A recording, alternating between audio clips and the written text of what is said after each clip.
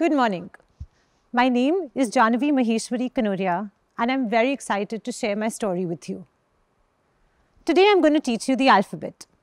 So A stands for apple, B stands for ball, C stands for cat and D stands for doll. But you already know this. And so do a majority of our children around the world who have the privilege of being in school. But this is not the case for 263 million children who are globally out of school. That is one in every five children. What's really worrying is that this crisis is just growing and it's growing at the pace of 30% every single year. In addition to that, we have 130 million children who finish four years of schooling without learning how to read or do basic addition. Now, everyone says that this is an impossible challenge to solve. Everyone says there's no solution. And they're right. Because if we continue the same conventional system of education, these children will always be unreached. And frankly, any system that is failing one out of every five of its beneficiaries needs to be seriously reconsidered. But then we had this golden opportunity to reconsider. Because in April 2019, when the pandemic started, our conventional education system came to a grinding halt. And schools around the world closed down. And every single child was suddenly out of school. So we as educators had this opportunity to be agile and innovative and think of really new and different ways to reach each and every one of these learners everywhere, they, wherever in the world they were. And so what did we do? We all moved to different models of online schooling. And now let me show you how that worked. For a second, just close your eyes. Now, what do you think of when I say distance or remote learning? Now open your eyes. I know what you were thinking. But come on a journey with me for a second. So imagine I took away your distance learning superpower. No internet. No online school, no Zoom calls with teachers, no videos, no games, no emails.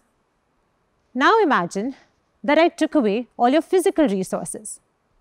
So no textbooks, actually no books of any kind no stationery, no educational resources. Now imagine that I told you your parent who is at home with you is semi-literate or has to go out to earn a daily living and cannot support you with your education.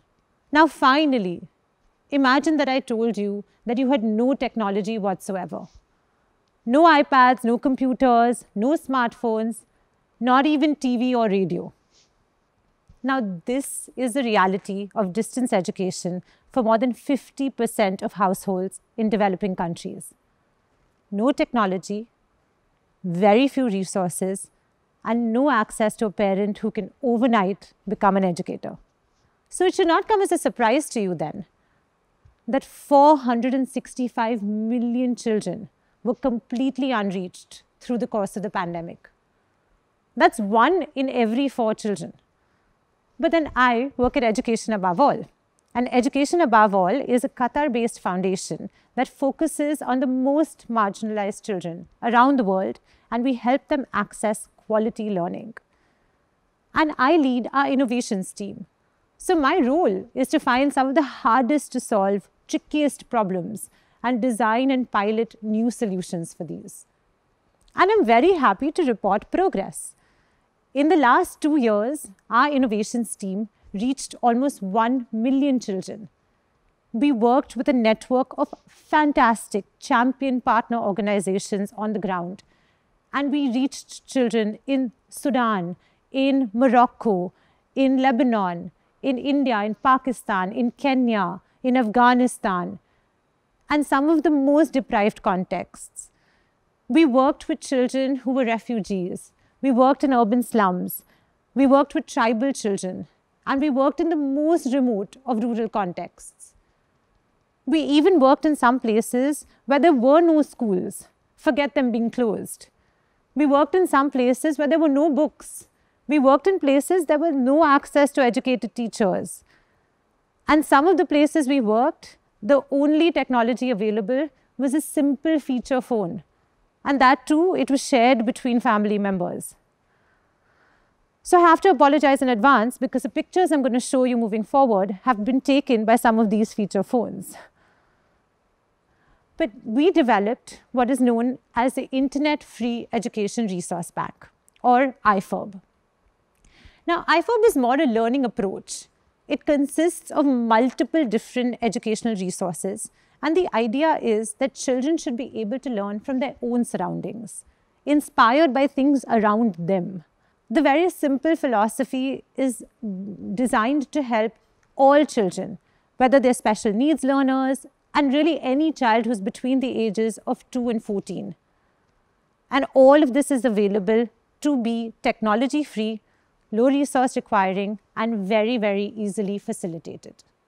And by implementing these around the world, I have learned some very fundamental lessons. I want to share these five shifts with you. So, shift number one we move from teacher led to community based. We very rightfully eulogize our formal education teachers. So much so that sometimes we forget our first teachers, our families. But at homes with low literacy, they are sometimes so excluded from the learning journey, and that causes a huge chasm in learning proficiency. So, what we did because we did not have any access to such teachers, is we decided to capitalize on the really powerful life lessons that some of these communities know and a lot of their innate knowledge. So we had grandmothers in Kenya tell their grandchildren folk stories so that the children could learn literacy in the absence of any books. So the children listened to the stories, they then rethought them, they reimagined them, they modernized them, and they authored these beautiful storybooks. In some parts of the world, these storybooks have been placed into small community libraries that the children made themselves. Imagine this happening in a place which had never previously seen a book. I want to now tell you the story of 12 year old Leba. So, Leba grew up in a very conservative district in Pakistan. Most of her conversations with her mother were about mundane topics like errands, cooking, groceries, and so on. And then she had to work on the family tree project. So her mother, being the primary source of information, had to share a lot of information with her, and she had to interview her mother constantly to gain all of this knowledge. She then, over the course of the week, represented this information to her mother. She shared a geographical map of migration to show her where the family came from. She showed Venn diagrams to illustrate commonalities and differences between family members and also talk about genetics. And then she took two statistical representations to share the average age of certain incidents or events in their family lives. Her mother was so impressed with her daughter's abilities that she herself took a very bold move. She cancelled her impending child marriage and re enrolled her into school. All it took was Leba to showcase her own talents to her own mother. Shift number two from classrooms to streets. Learning has become like a job, right? It's 7 a.m. to 2 p.m., and it's within these four walls of a classroom. But you know, when school buildings close down, we had this opportunity to free learning. So now it can happen anytime and anywhere. And actually, it can happen all the time and everywhere. So just imagine what happened when children set up stores on the streets. They wanted to attract customers, so they made colorful and beautiful posters. They sold everything that they thought could be sold, from agricultural produce to homemade handicrafts. They learned literacy and numeracy by preparing invoices. But you know what they really learned? The very tough art of negotiation. And just imagine the magic of the mud streets of Zambia converting into number lines. Children are jumping and they're playing while they're practicing simple math. I can promise you that it'll take us much less than four years to teach them simple addition. Shift number three from globally standardized to locally relevant. You know, the people who write curriculum are often educators who are sitting in ministries in faraway capital cities, and they can't even imagine the lives of many of these children. For us, too, it was impossible to imagine that these children had no idea what a comic was, they hadn't seen a book, they had never seen a newspaper, and in some cases, they didn't even know what the news was. So, we had to really think about learning that was relevant to them. And in a really standard example for us, in a tribal area of Chhattisgarh, which is a Maoist dominated conflict zone in India, learners told us that they had never seen an apple to identify with the letter A. They normally eat the staple forest produce. So, what we did is we told these tribal children to design their own alphabet book. And often A is more accurately represented with an axe or an arrow. And then when we moved to Sudan and we tried to teach them about geography, they asked us to teach them about floods because that's what happens there. So we had children design their own different models to understand how flooding happens and what human behaviors cause floods. They designed their own evacuation plans. And then, do you know how they learned density? No, not in science labs. They learned density by making their own personal flotation devices. And these life jackets were made out of scrap plastic bottles. And then finally, think about how different the same project would look to two different children. So, a simple project that we had around making our own ID cards. For a nine year old Arif, who was an Afghan boy in a refugee camp in the US, it was his way to hold on to his past, to his identity. It was also his way to understand and learn about the new people around him. But for 14 year old Hasina, it was the first time anyone had ever asked her about her preferences. It was the first time that she had a personal identity which was different from the village collective identity. Just imagine how simple a space we need to create projects to become different for different learners. And now, shift number four. We need to stop asking our students to stay silent and raise their hand. Let's please start asking them to speak up and use those hands. So, everywhere in the world that we worked, we actually had to convince our learners that there's no example to copy, there's no formula, there's no format, and you have to use your own creativity and imagination. But you know, once unbridled, it was like magic. These children are unstoppable. I want to tell you about an example when we were learning about COVID 19. And this is in the early days when there was limited awareness and there was a lot of misinformation. So, children from Kashmir to Kenya learned how to practice sanitation by washing their hands and understanding basic practices of hygiene.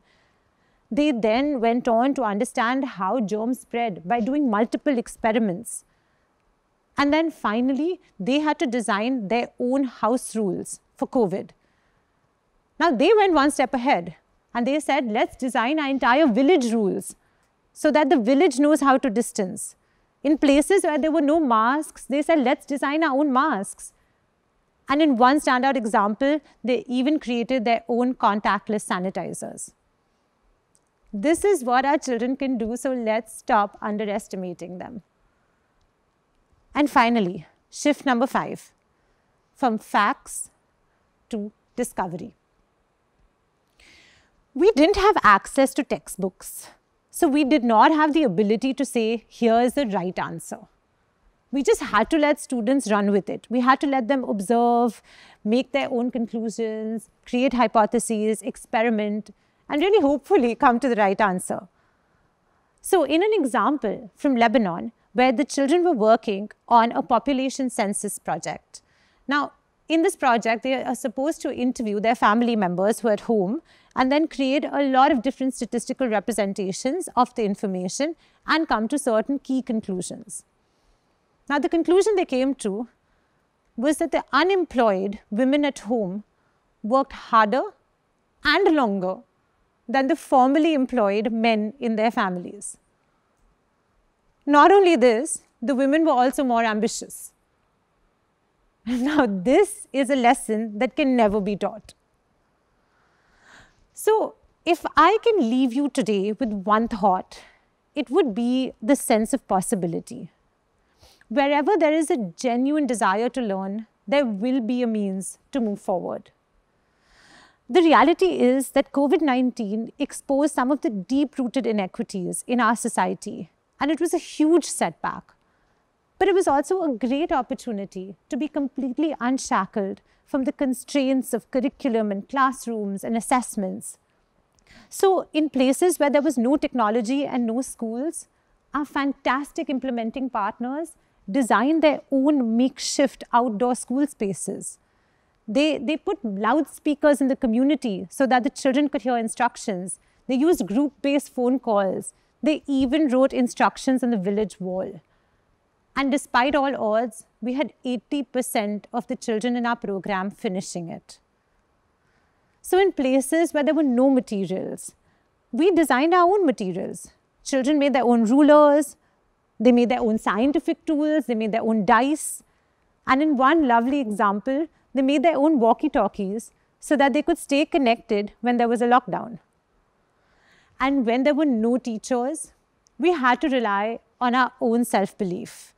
So children observed, experimented, drew, painted, and did whatever they needed to to come to their own conclusions in learning. They relied on older siblings, family members, and whoever they had access to. And doing so, we made some miraculous leaps in learning we learned over 18% in just three months. And not just this, learning was a lot of fun. We had students proactively line up outside their facilitators' homes and ask for the instructions for the day. We had them beg their parents that they could join the program. And if you see in this picture, you would know that we had an oversubscription to one of our programs by almost 250%. And you know, our fantastic partner organizations on the ground championed the cause to the extent that even skeptical parents or government bodies changed their minds. So a year after we finished our pilots, 70% of them have continued using the same methodologies. And I tell you all this because I know it's possible. All our materials are open source, cost free, and available on our website. So please try it for yourselves we have hundreds of IFERB resources, from project-based learning to game-based learning to activity-based learning, and each of them promises a week long of learning, and it integrates lots of different subjects, makes it very interesting, and mimics the real world. But luckily, we're also not the only ones. We're just one in a glittering sea of examples of such change which has come out in these very difficult times. And all this does is prove to us that we're out of excuses. So imagine a world with me where A stands for an aeroplane, but A also stands for an animal. Imagine a world where A stands for Australia, but it also stands for Angola. Imagine a world where every single one of our children is learning, no matter what their context might be imagine a world in which we score a 5 out of 5.